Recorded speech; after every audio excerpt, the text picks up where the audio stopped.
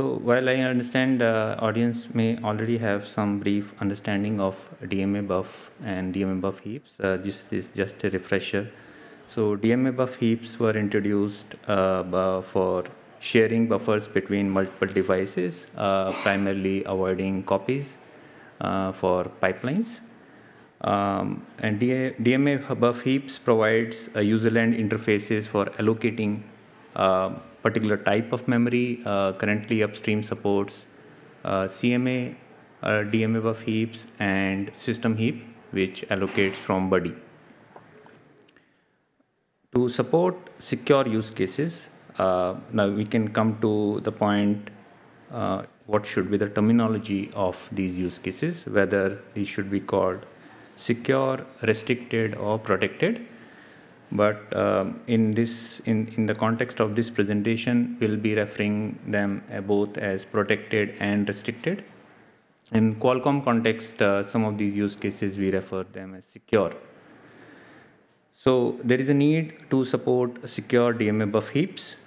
Uh, and what is the property of these heaps? Uh, the specific type of memory these heaps are referring to they are restricted from HLOS access. The restriction can be um, partial, say read only, or altogether there is no access from HLOS. And not only HLOS, uh, different uh, VMs uh, can have different uh, access control uh, for these uh, heaps. Um, and that is the primary need for secure DMA buf heaps. Now, what are the methods to restrict uh, the buffer access? Uh, there are XPUs uh, in some vendors uh, and in Qualcomm solutions to protect this memory region. The other method is through type 1 hypervisor stage 2 based restriction. Through stage 2 page table, the buffer access can be restricted to certain VMs. I've given some references if you want to uh, you know, understand more about these in the footnotes.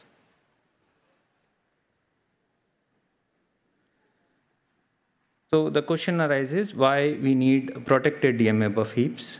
Um, so the use case requiring protected DMA buf heap, protected buffers. So we understand some use cases uh, should be protected from HLOS access. Now they require protected buffers or restricted buffers they can take benefit of DMA buf in the, the mechanism it provides for a pipeline and user space uh, uh, interfacing. Now, below are the few examples in Qualcomm case where these heaps can help. Uh, there are secure video playback and fast RPC CPZ use cases which are needed for video post processing. I suppose for other vendors, they may have their own use cases which can take advantage of uh, uh, protected or restricted DMA buf heaps. Now, these use cases can also be achieved using custom user land and kernel driver interactions, but there are few challenges what I want to talk about. Now, if I take example of FastRPC, uh, FastRPC use case at present in upstream is able to uh, achieve uh, the functionality of restricted buffers without actually using uh, restricted DMA buffer. And the way it is done is uh, the buffers are allocated by unrestricted DMA buffer, uh, which are supported in upstream. And through FastRPC kernel interface, uh, the kernel driver, FastRPC kernel driver protects this buffer using Qualcomm SCM interface. Now, this can be achieved uh, by, uh, now as, as, you, as you see, this is achieved by a kernel interface, but the kernel driver is aware about the specific type of the memory the use case has to use, which is not giving this decision to user land alone. Kernel driver is involved in, in this case, which, uh, which can be avoided if we substitute uh, this functionality with a restricted DMA buf heap, uh, where user land alone will have the decision or knowledge about the type of memory this pipeline or this use case need to use. So these are example of some of the downstream Qualcomm secure DMA buf heaps we are using. There are secure system heap, which all of these cases, the buffer protection is through Qualcomm SCM interface. Uh, the allocation methods differ. Uh, in secure system heap, we have system heap, uh, buffer allocation. In secure cu custom CMA heap, we have cu custom CMA heap, which patches are posted in upstream. Uh, secure carve-out heap, there are carve-out bitmap maintained. The buffer protection method in all the cases are through Qualcomm SCM interface. Now, as we see example in Qualcomm case, there are three type of secure uh, DMA buf heap required.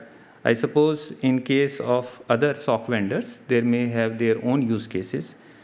Now, the common part is uh, any non-secure, any, any uh, restricted DMA buf heap would have two interfaces.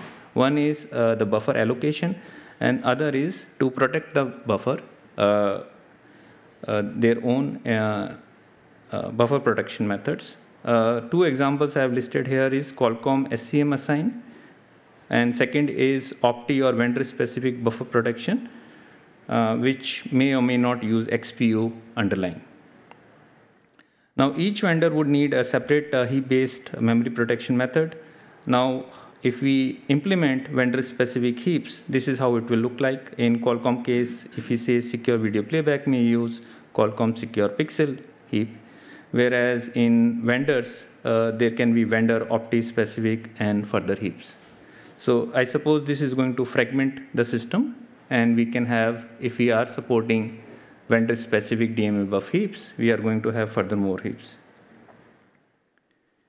So there was attempt in upstream uh, some time back to support vendor heaps and based on community feedback and our feedback, the discussion um, there was a suggestion to provide restricted heap ops as internal ops on the DMA buf, try to reduce some of the fragmentation arising out of various allocation methods and buffer protection methods.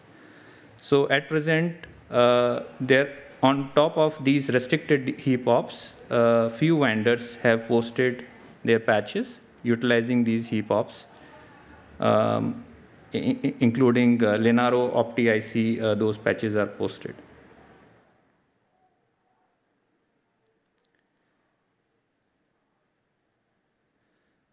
Uh, one of the suggestion on top of reducing uh, code duplication by using restricted heap ops is if we can have named heaps based on use case rather than vendor.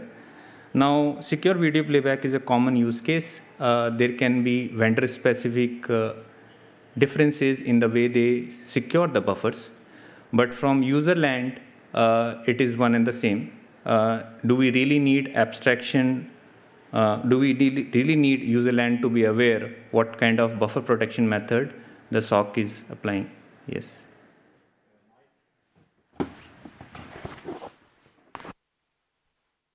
Okay, so user space needs to be aware, for instance, if you actually have intention to only share it between, say, two devices, but not the third device. Mm -hmm. So you actually need to separate allocation to binding to device A and B, but not C. Because I've seen a use case where all memory was, say, assigning to a protected domain. And that included both graphics, but also crypto buffers. And you could dump the crypto buffers using the GPU. So that's why you need to actually bind memory to a device based on the use case. Uh, I understand, uh, but uh, in, if the difference is only between, say, Qualcomm and other SOC vendor, where the buffer protection method may be different in QCOM SCM and uh, OP-TEE, if based on that difference alone, and the use case is the same from user land, uh, they will expose different uh, named heaps. Yeah, but my point, say if you have a device with 10 devices, how many heaps would you need, right? Mm -hmm. So instead, you should like have a allocate the memory and then bind to these and these and these devices. Because then, say, a stage two based setup can then just map it into those IOMMUs. So in downstream, we do have this mechanism, which is a dynamic uh, protection through user space. Now, it is again use case dependent. Uh, some use cases uh, require buffer protection during allocation, where they don't want to pollute the user land uh, that after allocation, you are protecting the buffer in a second stage, in, in a next step. Uh, yeah, my point is that you have multiple stage, uh, stage two or second stage mm -hmm. page tables that you partially update like one of the devices, but not the other one. So you, you can't just say you abstract away whether there's a stage two, because like only the app might know or something in the kernel might know actually which devices need access to something. Mm -hmm. Okay. Yeah. Okay. Point taken.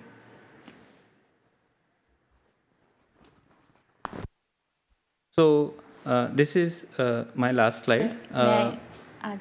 Uh, may I add something to that? Uh, sorry, I don't have uh, full experience in the field, but is there no other mechanism for user space to know what device this need to be mapped to?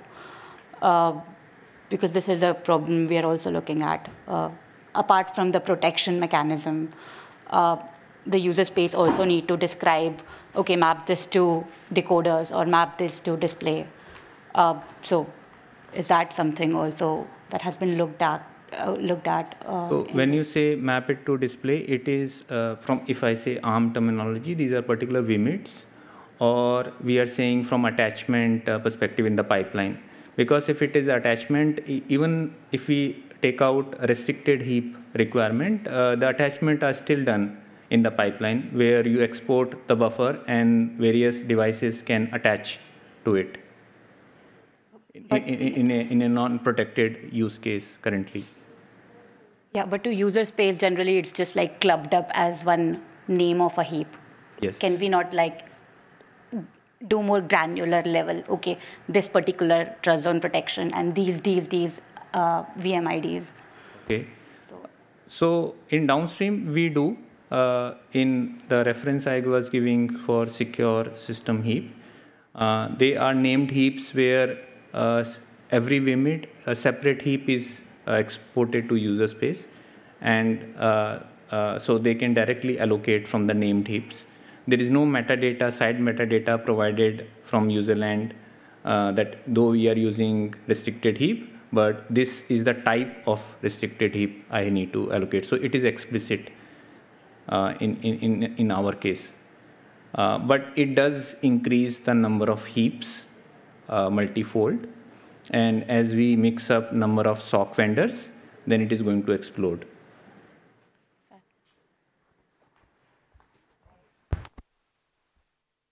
Uh, excuse me if, if, you already said that. I missed the, the first the beginning of your talk. But why do you need it, uh, the separate DMA heaps at all? Why can't you uh, just export the buffer from the one device and then import it to another device? Because both secure playback and what you said about the uh, video processing from, I think, uh, Iris uh, through the FastRPC or from covered by allocating a buffer in, by one device and then input it to another device? Uh, so that is the case where it is uh, not restricted buffer. So where we need to apply a certain restriction on the buffer where HLOS or particular VM cannot access, um, that cannot be achieved with the existing heaps unless unless uh, unless there is a like the example I gave of FastRPC, unless the, from user land to kernel, the example FastRPC, they intimate uh, FastRPC driver to apply that restriction uh, after allocating the buffer. Uh, specify the restriction when allocating the buffer to the device that allocates it. So, so the allocation I, uh, allocation in is happening with the DMA current, current case, if you see during DMA buf heap IOCTL call, where from user land, you are indicating to the DMA buf drive, DMA buf heap to allocate a buffer whether as uh, scatter gather buddy or from CMA. So that's uh. where it is the allocation is happening currently. You can have other methods, like you can do directly from the kernel driver, you can allocate, okay? Yes. And yes. you can have your own custom interfaces, but that does not fit into the DMA buf the, the core idea here is the, we are not keeping the logic, what is the use case and association to protection method in kernel. That control we want to keep with the user land. because it is more aware about the pipeline elements okay? And and whether it is a secure use case and it wants to apply that uh, the the protection. Uh, the user space can easily fail to do that if it's not done properly. And also well, i'm just slightly resistant to the idea of generic allocators. Mm -hmm. okay.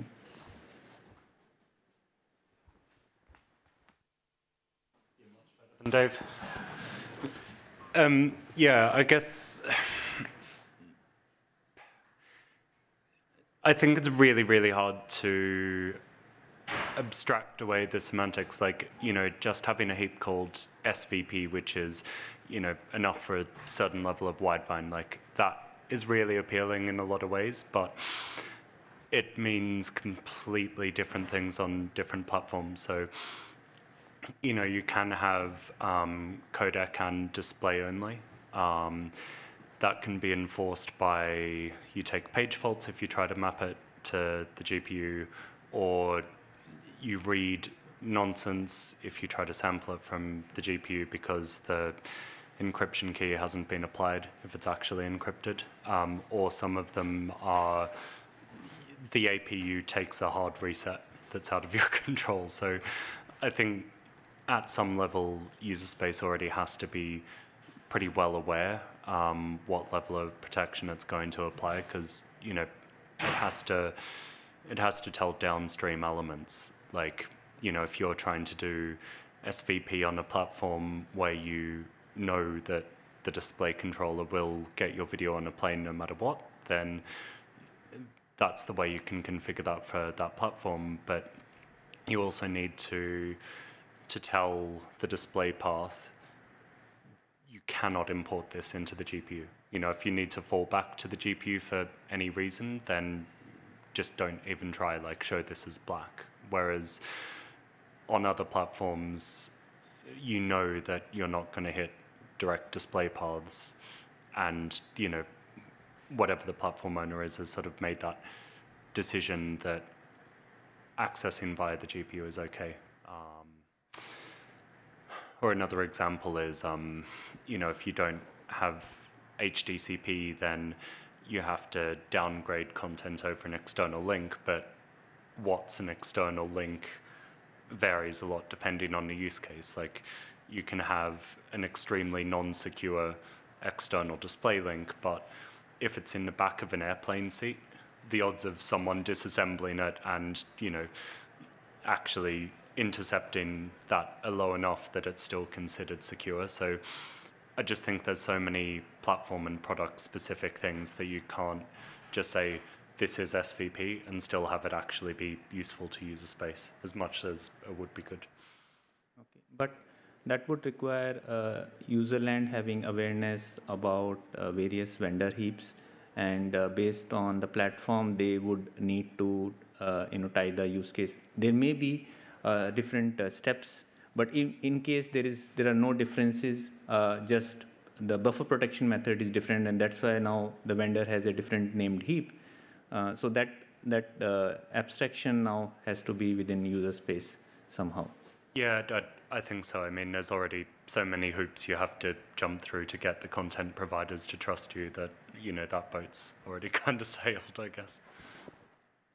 So this is my last slide. Uh, for to utilize these heaps, as we as I said, downstream we have these heaps. Uh, on upstream, we are trying to make support for secure video playback and other use cases which require protected or restricted DMA heaps. Uh, so we have posted secure system heap examples. Um, secure context bank support we have posted. Uh, now, uh, early other vendors, uh, so far what posting is done, the the buffer protection on the SMMU side is done by OP-TEE or through SCM, uh, the T uh, trusted execution environment. In, in our case, it is through HLOS. So ARM SMMU driver having support of uh, page table, securing the page tables. So that support we have posted. And that is, so far currently it is uh, Qualcomm uh, ARM SMMU driver specific, but it can be extended to any other vendor who want to utilize HLOS-based uh, page table protection. Um, Iris VIDC a non-secure support that is posted and uh, Iris VIDC secure support will follow. So once all these building blocks are in place, we should be able to support uh, secure video playback and other secure use cases on Qualcomm platform. Yeah. Any, any questions?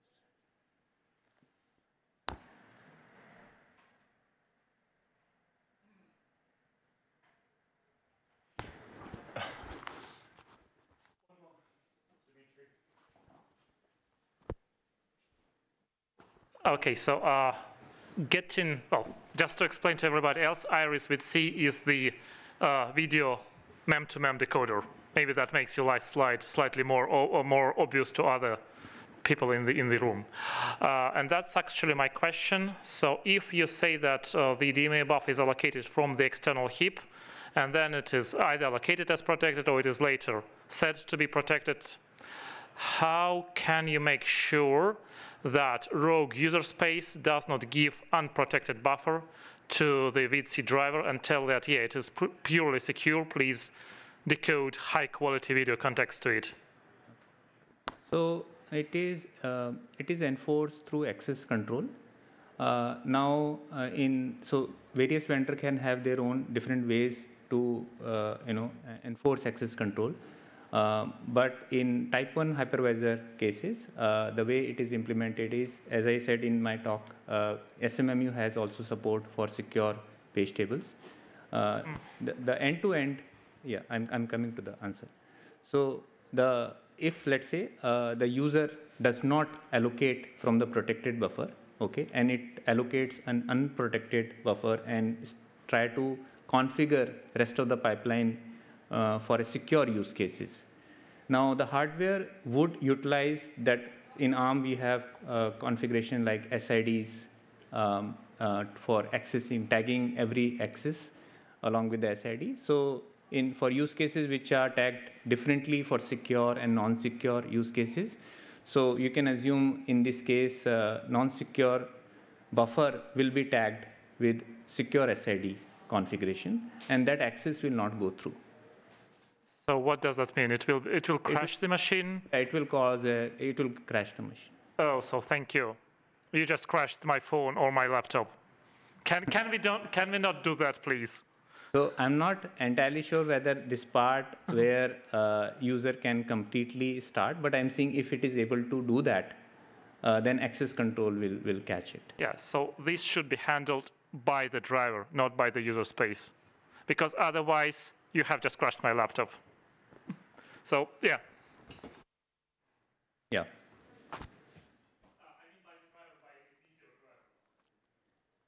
So, so my understanding is I have limited understanding on the video driver side, but uh, there will be usually checks on the driver side uh, about pipeline establishment.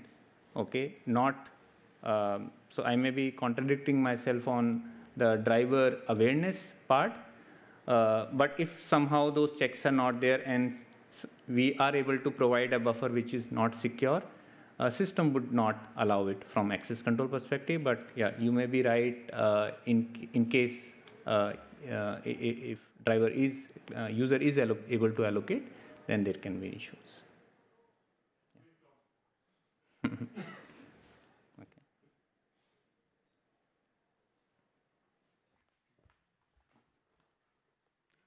The consumer of these buffers? Is that secure world or are they also mapped to like non-secure VMs? Uh, so these are protected use cases. Uh, as, as, I earlier mentioned, uh, so protected not necessarily means secure. Uh, so secure traditionally people refer with trusted execution environment which can access. Uh, protected is what uh, non-HLOS, uh, sorry, HLOS has certain restrictions uh, on that buffer. Um, by consumer, these we are talking about DMA um, use cases. So DMA engines are consumer of these buffers. But they must be like CPU accessible by some entities. Are these are these trusted apps? Not necessary. Uh, CPU, CPU can still have just a control path where it may or may not necessarily have uh, um, data access to these buffers. So it is just setting up the pipeline. So who writes to these buffers then? Directly hardware? DMA, yeah. hardware. Which, which hardware? So like in secure video playback, uh, um, you can have uh, video, um, video IP will be accessing these buffers. That must be software. No, I, I, the hardware components. So these are, so DMA primarily we are using, DMA buf we are using for the DMA pipeline and these are DMA engines uh, who are consuming and generating these buffers. So not necessarily, there can be cases uh, by restriction, the restriction can be that it's uh, accessible by both HLOS and non-HLOS, but it is again use case uh, dependent. sorry, at least the beginning of the pipeline to be CPU accessible. You know, like if it is decoder, the input to the decoder will be decoded, decrypted content, and that will So be. the control can be, User space starts by giving some hardware blocks and encrypted content. So hardware will decrypt and then do the processing, send to the GPU display whatever. The CPU never sees it after it's been decrypted. Okay, so that so that is for hardware decryption and hardware crypto engines. So, thank you. okay. Any, any questions? Thank you.